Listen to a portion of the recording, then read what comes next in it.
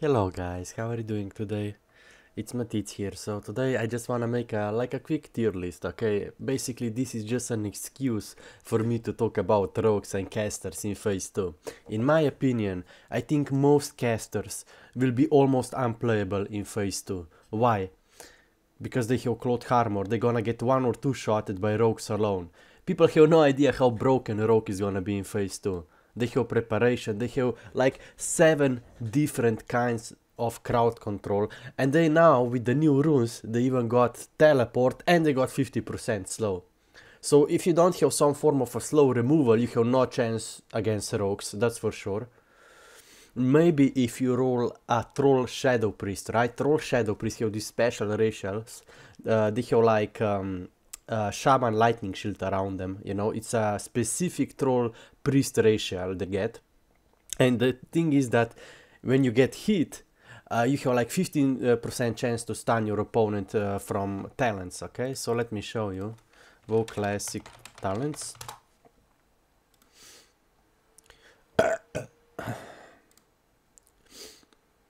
you see they have blackout, okay?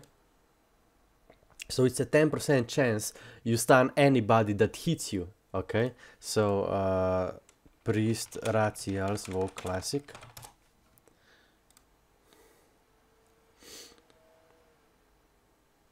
So let's uh, find trolls, okay? They have Shadow Guard, okay?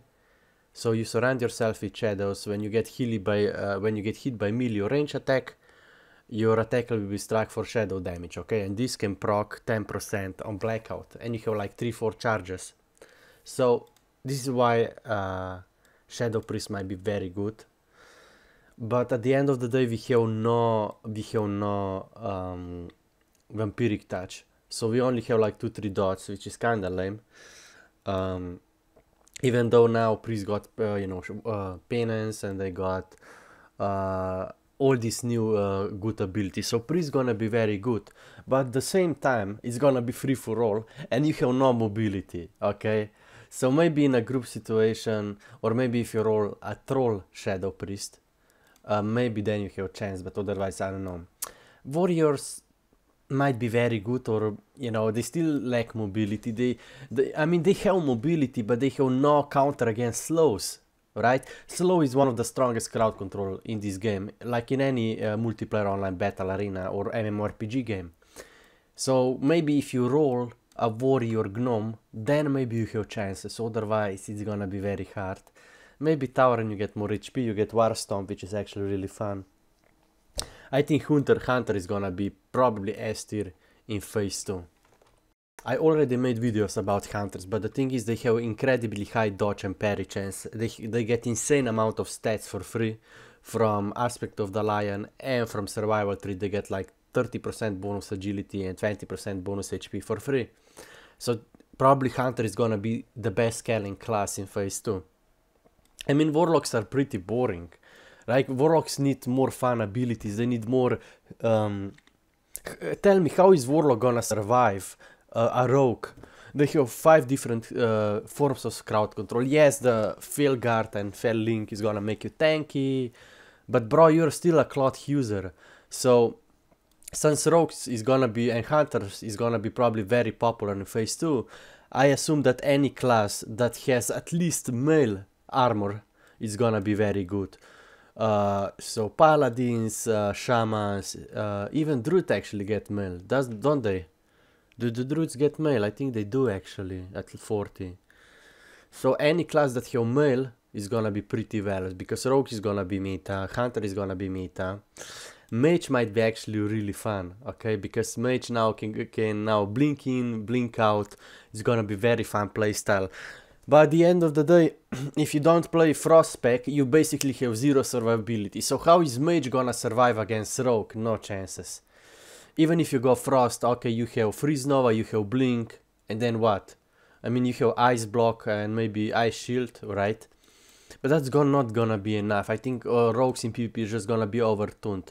And now, if you check some of the new runes, they even added more damage. They added 50% slow leeway. They added teleport for free, right? And on top of that, on top of that, they are actually removing stamina from clothing gear. So now all rogues and uh, warriors and hunters can gonna be one shot you in PvP. That's gonna be I I don't know, man.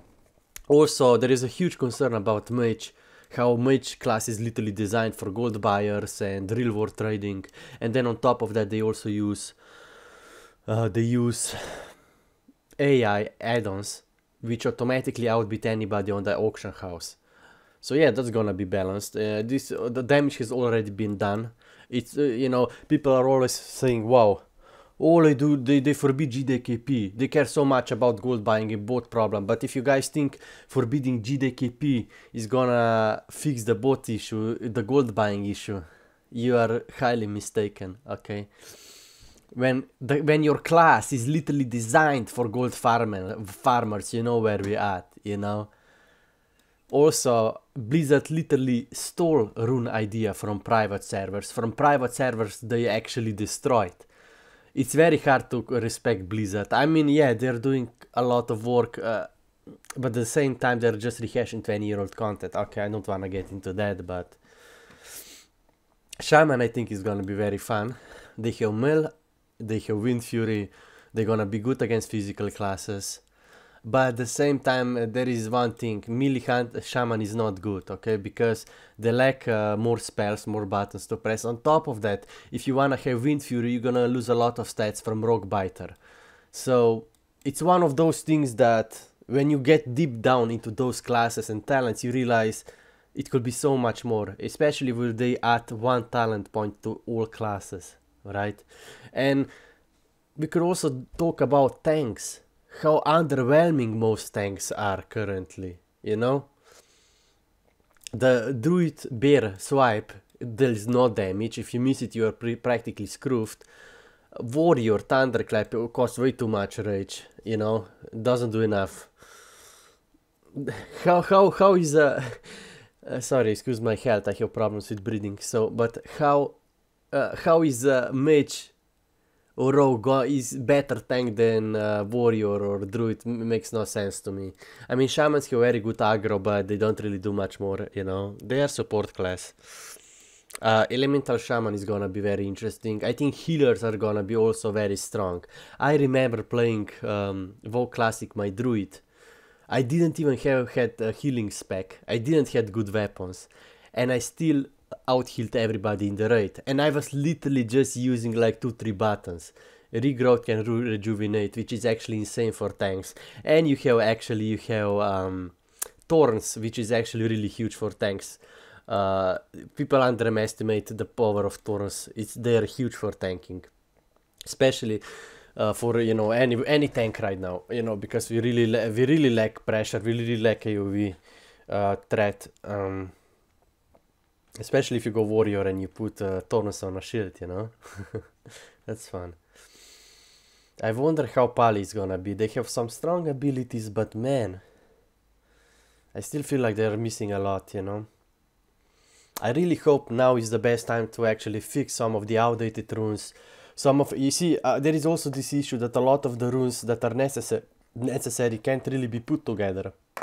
Maybe they will fix this issue, but I feel like runes also limit a lot of the things, not just make it possible, but also limit the class design and such. So yeah, we'll see. I think Hunter is gonna be. Melee Hunter was already so good, and now they made it insane. N we, Hunter with the new melee run runes is probably even better than Warrior, right? You have, it's if you if you play melee hunter and you play warrior, their kits are actually very similar. You know, Raptor Strike is like uh, heroic strike. Then you have procs, you know, you have um, quick strike, and that's the same as Mongoose Bite. It's very similar. The thing is, the more dodge Hunter have and the more parry they have, the stronger they become. And these are actually best stats against rogues. You know, because the more they dodge, the more Mongoose Bite can they use, and the more they parry, the more counter attacks they can use. So I think Hunter is gonna be the best scaling class in late game for sure. Mage is gonna be very fun. I really wanna roll a mage soon. Right now I have a hunter and a warrior. I wonder how is. I really wish they would add like Bladestorm or Shockwave. Shockwave would be so good for a protection warrior. You know? Without Shockwave, Protection Warrior doesn't really feel fun to play. You have no really big buttons. Everybody out threats you. Shamans, mages, it's stupid. You know, I know I was under level in the last under leveled in the last dungeon, but man. Guys, we actually got a new rune that when you dodge or parry, you actually get bonus HP on a priest. Now imagine this with the Elune Grace, when you get 10% dodge for free, you know? Or star shards, uh, you know, in phase 2, priest and warlock abilities might, uh, uh, dots, uh, damage over time abilities might actually be able to crit, so it's gonna be huge.